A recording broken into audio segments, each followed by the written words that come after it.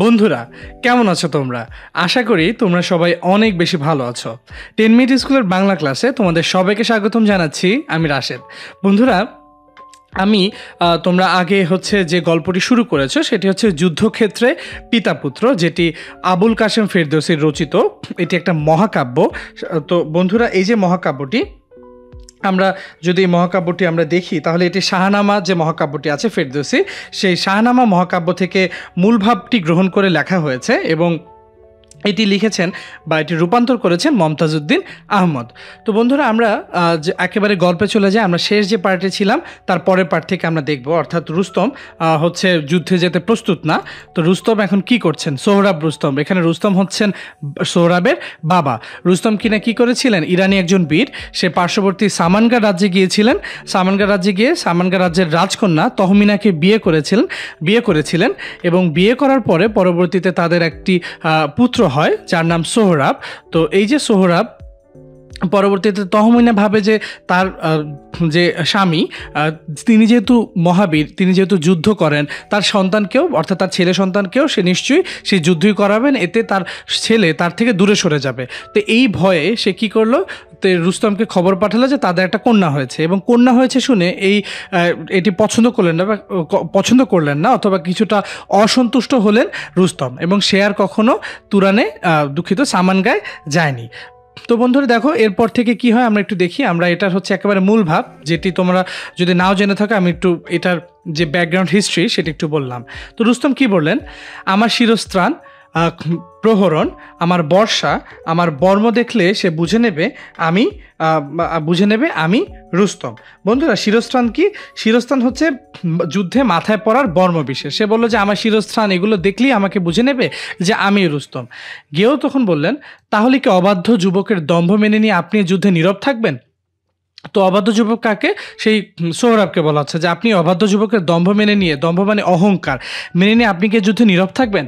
রুস্তম তখন বললেন, চুপ করো। রুস্তমকে যুদ্ধের উপদেশ দিও না। যেহেতু রুস্তম ছিলেন মহাবীর, তিনি নিজেই যেহেতু বড় যোদ্ধা ছিলেন, তিনি বললেন, আমাকে তুমি যুদ্ধ নিয়ে উপদেশ দিও না। যাও, তোমার নির্বোধ সম্রাটকে বলো, আমি যুদ্ধে যাব এবং তুরানি বালকের দম্ভ মৃত্তিকায় লুণ্ঠিত করে তার আশঙ্কা দূর করব। তো বলল যে, তোমার সম্রাটকে বলো, আমি যুদ্ধে যাব এবং এই যে তুরানি বালকটি আছে, সৌরভ, তার যে অহংকার, সেটাকে আমি মাটিতে লুণ্ঠিত করব, ভুলুণ্ঠিত করব। গিয়েও তখন বললেন, আপনি সত্যি মহান বীর। আপনার প্রকৃত আপনি প্রকৃত ইরান ভরসা, অর্থাৎ আপনি ইরানের ভরসা। মনের আনন্দে গেও চলে গেলেন। রুস্তম মনে মনে কৌশল করে নিলেন।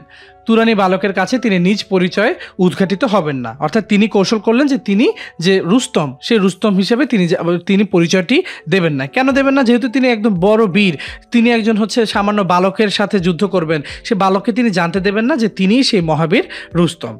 তো এরপর কি হলো? আমরা যদি একটু দেখি। সামান্য অনুচর হিসেবে সজ্জিত হলেন রুস্তম। অর্থাৎ সামান্য একজন অনুচর হিসেবে সে সজ্জিত হলেন। হাস্যমুখে শিবির থেকে নিষ্ক্রান্ত হলেন, বের হলেন যে সৈন্য শিবির থেকে। কিন্তু তার সম্মুখে অবিচল পর্বতের মতো অশ্বপৃষ্ঠে ঘোড়ার পিঠে সমাসীন সোহরাব। অর্থাৎ তার সামনে কি? অবিচল পর্বতের মতো। অর্থাৎ স্থির পর্বতের মতো। হ্যাঁ দাঁড়িয়ে আছে কে?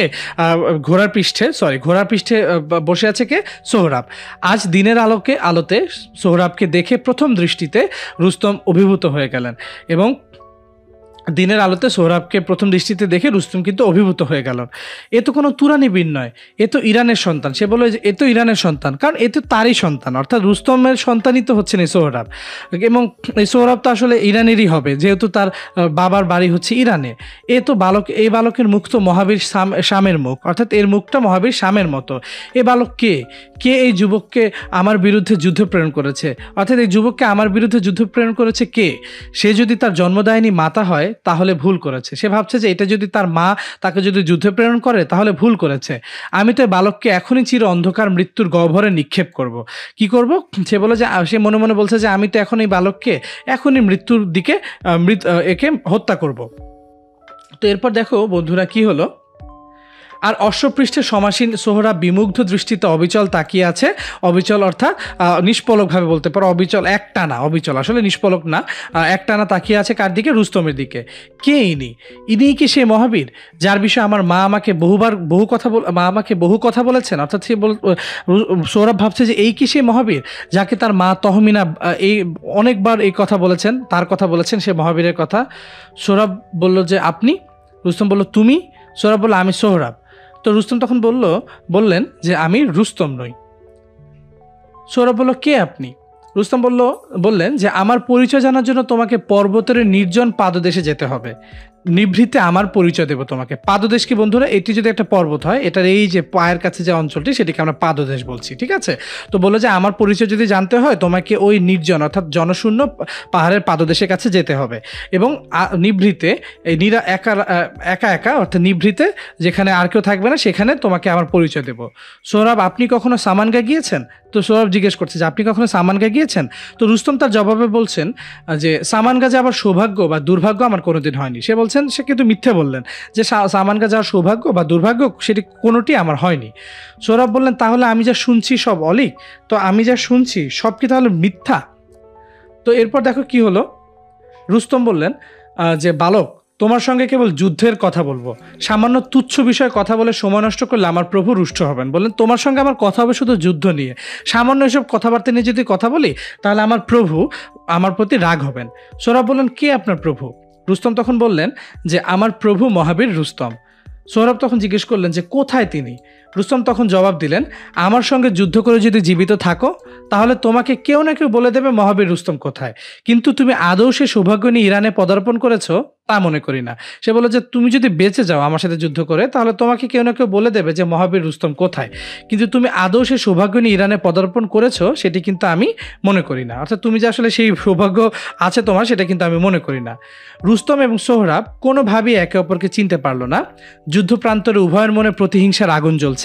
অর্থাৎ একে অপরকে হারাবে বা পরাজিত করবে, এই প্রতিহিংসার আগুন তাদের মনে জ্বলছে। সেখানে স্নেহ ও প্রেমের স্থান নেই।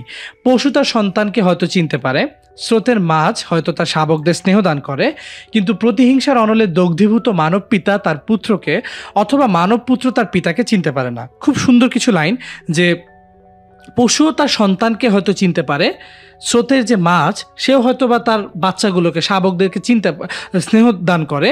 কিন্তু প্রতিহিংসা যেখানে আছে, সেই প্রতিহিংসার আগুন যে মানুষের মনে আছে সে মানুষ, মানব পিতা তার পুত্রকে অথবা মানব পুত্র তার পিতাকে কি করতে পারে না? চিনতে পারে না। পাহাড়ের পাদদেশের সংকীর্ণ প্রান্তরে দুই বীরের যুদ্ধ চলছে। দুজনই কিন্তু বীর, সৌরভও কিন্তু যুদ্ধে বেশ পারদর্শী। বর্ষার যুদ্ধ, গদার যুদ্ধ তো বন্ধু দেখো, এক একটা কিন্তু যুদ্ধ হচ্ছে, কখনো বর্ষা দিয়ে যুদ্ধ হচ্ছে, কখনো হচ্ছে গদা দিয়ে যুদ্ধ হচ্ছে। তো বর্ষা যদি বলি, মাছ মারার এক ধরনের কোচ থাকে, দেখো যেটা এরকম থাকে এবং সামনে একটু সুচালো, তীক্ষ্ণ এরকম থাকে, ঠিক আছে? এটা মোটামুটি বর্ষার একটা আমি যদি বলি, আমি দাঁড়ো আমি হচ্ছে তোমাদেরকে, আমি আসলে আঁকা আঁকিতে খুব একটা বেশি পারদর্শী নই, বন্ধুরা। তো আমি যদি তোমাকে দেখাই, ধরো এই যে এরকম থাকে না, যে সামনে বর্ষা দিয়ে হচ্ছে নিক্ষেপ করছে সেটি, গদা, গদাটি আসলে অনেকটা এরকম। লাঠির মতো, বড় মোটা লাঠির মতো গদা ঠিক আছে? তো এটা আসলে লাঠি বলা যাবে না, এটা এত মোটা সেই জন্য তো এই গদার যুদ্ধ, দুজনের দূরদমনীয় যোগ্যতা। দূরদমনীয় হচ্ছে যাকে দমন করা কষ্ট, অর্থাৎ দুজনেরই এমন যোগ্যতা যাকে সহজে দমন করা যায় না। দুজনের অশ্ব ক্লান্ত হলো, অশ্ব মানে ঘোড়া দুজনে ঘোড়ায় এখন ক্লান্ত। অশ্বপৃষ্ঠ থেকে আসন পড়ে গেল, অর্থাৎ বসার যে আসন, সেটি পড়ে গেল। রুস্তম ভাবছেন, এ কোন অজেয় বীর? অজেয় মানে যাকে জয় করা যায় না। এ কোন অজেয় বীর যে আমার এতকালের অহংকার চূর্ণ করার জন্য এসেছে। আর সোহরাব ভাবছে, এই যদি রুস্তমের অনুচর হয়, তাহলে আমার পিতার সৌর্য কত প্রবল? সে তখন ভাবছে যে, এটাই যদি রুস্তমের অনুচরে যদি এত হয়, তাহলে আমার যে পিতা, অর্থাৎ রুস্তম, সে তাহলে কত বেশি শৌর্য সম্পন্ন হবে? বা সে শৌর্য বলতে মূলত বীরত্ব বা সাহস সম্পন্ন হবে, সেটি বোঝাচ্ছে। তো এরপর যদি দেখি আমরা রুস্তম সোহরাবের কোটি দেশের বন্ধন ধরে টান দিলেন। কিন্তু সোহরাবকে এক চুলো নড়াতে পারলেন না, ঠিক আছে? তখন রুস্তম কি করল? সোহরাবের যে কোটি দেশের বন্ধন, সে বন্ধন ধরে টান দিল। কিন্তু তাতে আসলে সোহরাবকে সে এক চুলো নড়াতে পারল না। সোহরাব গদা গদা দিয়ে আঘাত করে আঘাত করল রুস্তমকে। এরপর সোহরাব কি করল? গদা দিয়ে আঘাত করল। কাকে আঘাত করল? মহাবীর। রুস্তমকে সে আঘাত করল। এবং ব্যথা পেলেন রুস্তম। বন্ধুরা, এখানে রুক্ষম লেখা আছে খুবই দুঃখিত। আমি সঠিক বানানটি তোমাদেরকে লিখে দিই। এটা হচ্ছে রুস্তম। এখানে রুক্ষম লেখা আছে। খুবই দুঃখিত বন্ধুরা। তো দেখো, রুস্তম তার হাতে রক্ত। যেহেতু তাকে গদা দিয়ে কি করা হয়েছে বলতো আঘাত করা হয়েছে। এবং আঘাত করার ফলে তার হাতে হচ্ছে রক্ত হলো। সৌরভ বলল, আপনাকে আর আঘাত করব না। আপনাকে আঘাত করলে সংকোচ আর ব্যথা হয় আমার। বলল যে, আপনাকে যদি আঘাত করি, তাহলে আমারই একটা সংকোচ হয়, আমারই একটা ব্যথা হয়। শিবিরে ফিরে যান আপনি। ঠিক আছে? তো বন্ধুরা কি বলল যে, সৌরভ, যে আপনি শিবিরে ফিরে যান। ও, একটা জিনিস তোমাদের সাথে বলতে ভুলে গেছি যে, সৌরভের যে কোটি দেশের বন্ধন, তো কোটি দেশ বলতে আসলে কোনটি বোঝায়? কোটি দেশ আসলে কোমরের যে পিছ- পিছনের ভাগ সেই ভাগটিকে বোঝায় বোঝায়, বা কোমর, ঠিক আছে? সেটিকে বোঝানো হচ্ছে। তো এরপরে যদি আমরা দেখি রুস্তম ক্রোধান্ধ হলেন, অর্থাৎ রাগে অন্ধ হয়ে গেলেন। ছুটে গেলেন তুরানিদের মধ্যে তার বিরুদ্ধে, তাদের বিরুদ্ধে যারা যুদ্ধ করছেন তো রুস্তম তো ইরানি, তাদের বিরুদ্ধে যুদ্ধ করছেন তুরানির, সেই তুরানিদের মধ্যে ছুটে গেলেন, অকাতরে হত্যা করলেন সৈন্যদের। সোহরাবও কী করল? ছুটে গেলেন ইরানিদের মধ্যে, সেও হত্যা করল বহু ইরানি সৈন্য। রুস্তম ঘোড়া ছুটিয়ে এসে সোহরাবকে বললেন, এ, তুমি কি করছ? বলল, তুমি কি করছ এটা? সোহরাব বলল, আপনি যা করলেন তার শোধ নিলাম। ক্ষুব্ধ এবং বিমর্ষ রুস্তম চলে গেলেন শিবিরে। তো রাগে ক্ষুব্ধ হয়ে এবং বিমর্ষ হয়ে রুস্তম চলে গেলেন তার শিবিরে। যাবার আগে বলে গেলেন, আজ অন্ধকার নেমে আসছে। কাল প্রভাতে এইখানেই তোমার সঙ্গে আমার দেখা হবে। মৃত্যুর জন্য প্রস্তুত হয়ে এসো। তো রুস্তম তখন বলে গেলেন সৌরভকে যে এখন তো অন্ধকার নেমে গেছে। কালকে প্রভাতে এখানেই এসো। তোমার সঙ্গে আমার তখন দেখা হবে। তো এরপর দেখো কি হলো। সোহরাব মৃদু হেসে বললেন, আপনিও প্রস্তুত থাকবেন। সম্রাট কায়কাউসের কাছে নতমস্তকে এলেন রুস্তম। রুস্তম তখন মাথা নিচু করে আসলেন সম্রাট কায়কা, কায়কাউসের কাছে, যেহেতু সে এই বালকের যে শৌর্য বীর্যের কাছে কিন্তু ঠিক সুবিধা করে উঠতে পারছিলেন না। যুবকের বীর- যুবক বীরের শৌর্যের বিবরণ শুনে সম্রাট বিস্মিত হয়ে বললেন, সে এমন কোন বীর যে আপনার যোগ্যতাকে বিপন্ন করেছে? তো মহাবীর রুস্তম ছিলেন সেই বীর যাকে কিনা সহজে কোনো যোদ্ধা বা যোদ্ধারা কিন্তু পরাজিত করতে পারতেন না। সেই বীরও এখন এ- এরকম বিমর্ষ হয়ে গেছে। বা সেই বীরও কিছুটা আসলে সুবিধা করতে পারছে না বা সহজে ওই ঘায়াল করতে পারছে না, বরঞ্চ সে নিজেই ঘায়াল হয়ে গিয়েছে। তো এই কায়কাউস বিস্মিত হয়ে, অর্থাৎ অবাক হয়ে বললেন যে, এটা কোন বীর? মহাবীর, আপনি কোনো মোটেই বিষণ্ণ হবেন না। নিবিড় ঘুমে রাত্রি যাপন করুন। তো কায়কাউস বললেন যে, আপনি বিষণ্ণ হবেন না, আপনি ঘুম দেন এখন। আপনি নিদ্রায় যান। আপনার বিজয়ের জন্য সমস্ত রাস রাত ঈশ্বরের নিকট প্রার্থনা করব আমি। তো সে বলল যে, আপনি যাতে বিজ- বিজয়ী হন, সেজন্য আমি ঈশ্বরের কাছে বা স্রষ্টার কাছে প্রার্থনা করব। তো এরপর দেখো কি হলো। রুস্তম এলেন নিজের শিবিরে বীর গেউকে পুনরায় বললেন গেউকে বললেন তখন, তুরানি যুবক বীরের কথা। বালককে দেখা মাত্রই তার চিত্তে যে নিদারুণ স্নেহধারা উত্থিত হয়, তাও বললেন। তিনি বললেন যে, বালককে দেখলেই তার মনে একটা স্নেহের আভাস আসে এবং তিনি সেটাও কিন্তু তখন তাকে বললেন। গেউকে সোহরাব এলো শিবিরে তার মনেও ভীষণ অনিশ্চয়তা এবং সোহরাবও যে খুব যে নিশ্চিত হয়ে আছে তা কিন্তু না। সোহরাবের মনেও বেশ অনিশ্চয়তা কাজ করছে যে, কে এই অজানা মহৎ বীর যার অস্ত্র চালনা, বর্ষা নিক্ষেপ, গলার অতি দক্ষ ও গলা গদার অতি দক্ষ ও- গদার গতি অতি দক্ষ এবং সুচারু। বন্ধুরা, গলা লেখা, এটা হচ্ছে গদা হবে, ঠিক আছে? গদার গতি কি? অতি দক্ষ এবং সুচারু। অথচ তাকে কেউ চিনতে পারে না। সে ভাবছে যে কে? যে যাকে কিনা কেউ চিনতে পারছে না। অথচ যার রাত যার হচ্ছে অস্ত্র চালনা বলো বা বর্ষা নিক্ষেপ বলো বা গদার যে গতি, সেটা যদি বলো সব কিছুই কিন্তু এত বেশি নিখুঁত এত বেশি দক্ষ সেটি কিন্তু ভাবতে লাগল সোহরাব। ঠিক আছে? তো এরপর দেখো, এই নাম না জানা বীরকে দেখা মাত্রই তার যুদ্ধ বাসনা হারিয়ে যায় কেন? সে ভাবলো যে এই নাম না জানা বীরকে দেখলে তার যে যুদ্ধ করার যে ইচ্ছা, সেই ইচ্ছাটি কেন হারিয়ে যায়? তাকে আঘাত করতে তার চিত্ত ব্যাকুল হয় কেন? এই মহাবীরকে আঘাত করতে তার চিত্তে, চিত্ত ব্যাকুল হয় কেন? তার মন কেন আসলে তাকে সায় দেয় না? তার বাহুর রক্ত দেখে চিত্ত বিচলিত হয় কেন? তার এই যে তাকে যে আঘাত করল, অর্থাৎ রুস্তুমকে যে আঘাত করল, সেটা দেখে সোহরাবের মনে কেন আসলে বিচলিত হয়? সেটি সে ভাবতে লাগল। অর্থাৎ সোহরাব ভাবতে লাগলেন। আগামীকাল প্রভাতে আবার তার সঙ্গে দেখা হবে। সে প্রভাত আর কতকাল পরে আসবে, সেটা ভাবতে লাগল সোহরাব। তাকে পুনরায় দেখার জন্য আমার মন ব্যাকুল হয়ে উঠছে। অর্থাৎ সেই রুস্তমকে দেখার জন্যে সোহরাবের মন ব্যাকুল হয়ে উঠছে। কিন্তু সোহরাব কিন্তু জানে না যে এটিই তার পিতা মহাবীর রুস্তম। সেনাপতি হুমান আপনি বলুন, এই মহাবীর কে? সেনাবীর মহাবীর সেনাবীর সেনাপতি হুমান বলল যে আপনি বলুন, এই মহাবীর কে? আমার মা যে বর্ণনা দান করেছেন, তার সঙ্গে বীরের অনেক কিছু মিলে যাচ্ছে। যে আমার মা যে বর্ণনা দিয়েছেন, তার সঙ্গে এই বীরের অনেক কিছু মিলে যাচ্ছে। অথচ আপনারা বলছেন মহাবীর রুস্তম এই সময় উপস্থিত নেই। অথচ আপনারা বলছেন যে মহাবীর রুস্তম এ সময় উপস্থিত নেই এখানে, সে চলে গেছে। হুমান বললেন হ্যাঁ তাই। আপনি এ নিয়ে আর চিন্তা করবেন না যে মহাবীরের সঙ্গে লিপ্ত আছেন, তাকে কাল প্রভাতে নিধন করে নিশ্চিন্ত মনে পিতার কথা চিন্তা করবেন। এখন নিঃশব্দ নিদ্রা, নিদ্রায় রাত্রি অতিবাহিত করুন, বিশ্রাম আপনাকে সাহায্য করবেন। করবে। তো হুমান বা এই যে তুরানিদের শিবিরে কেউই কিন্তু আসলে সৌরভকে এটি জানতে দেয়নি যে এটি আসলে সৌরভ যার বিরুদ্ধে যুদ্ধ করছে, তিনি আসলে মহাবীর রুস্তম। এবং বরঞ্চ তারা তাকে কি বলেছে? সৌরভকে বলেছেন যে, রুস্তম আসলে যুদ্ধ করবে না, সে চলে গেছে তার দেশে। তো এই কথা বলে হচ্ছে মহাবীর অর্থাৎ তার নিজের পিতার বিরুদ্ধে সৌরভকে কিন্তু যুদ্ধ করতে পাঠালেন এবং বললেন যে, আপনি এখন ঘুমিয়ে পড়ুন, আপনার এখন বিশ্রাম দরকার। তো এরপর দেখো, সোহরাব হুমানের কথা শুনে শয্যা গ্রহণ করতে গেল। রাত্রির অবসান হলো। পাহাড়ের অন্তরাল থেকে সূর্যের রক্তিম আভা বিস্তার লাভ করল এবং আস্তে আস্তে ভোর হলো। পাখিরা কুজন করল, অর্থাৎ পাখির ডাক শুরু হলো। মহাবীর রুস্তম এলেন প্রান্তরে। শূন্য প্রান্তরে সোহরাব তখন উপস্থিত হননি। রুস্তমের চিত্ত অকস্মাৎ শূন্য হয়ে উঠল, অর্থাৎ রুস্তমের যে মন হঠাৎ করে শূন্য হয়ে উঠল। অকস্মাৎ, হঠাৎ মানে অকস্মাৎ মানে হঠাৎ। তো এরপর দেখো কি হলো? সোহরাব এলো, তাকে দেখে আনন্দ পেলেন রুস্তম। সম্ভাষণ বিনিময় হলো দুজনের মধ্যে যুদ্ধের রীতি এগুলো। তরুণ সোহরাব প্রবীণ রুস্তমকে বিনীতভাবে বলল, আপনাকে যা বলব তা একান্ত আমার কথা। আমি আপনার সঙ্গে যুদ্ধ চাই না। যে চায় সে যুদ্ধে লিপ্ত হোক। আমি আর আপনি যুদ্ধ করব না। অর্থাৎ বলছে যে, আমি আপনার সাথে যুদ্ধ চাই না। যে যুদ্ধ চায় সে যুদ্ধ লিপ্ত হোক। আমি আর আপনি যুদ্ধ করব না। আমরা বসে বসে অনেক কথা বলব, জীবনের কথা। আনন্দের কথা, শান্তির কথা বলব। প্রয়োজনে আমরা পরিচয় বিনিময় করব। আপনি জেনে নেবেন আমি কে? আমি জেনে নেব আপনি কে। গতকাল আপনার সঙ্গে আমার যুদ্ধ হয়েছে, আপনার দক্ষতা ও বীরত্বের সন্ধান পেয়ে আমার মনে বারবার দ্বন্দ্ব হয়েছে। আপনি স্বয়ং মহাবীর রুস্তম। অর্থাৎ আপনার সঙ্গে আপনার যুদ্ধ সৌরভ বলছেন রুস্তমকে যে আপনার সঙ্গে তো আমার গতকাল যুদ্ধ হয়েছে। আপনি যে দক্ষতা দেখিয়েছেন, যে বীরত্ব দেখিয়েছেন, সেটি দেখে আমার মনে বারবার একটা সন্দেহ হয়েছে যে আপনি নিজেই আসলে মহাবীর রুস্তম।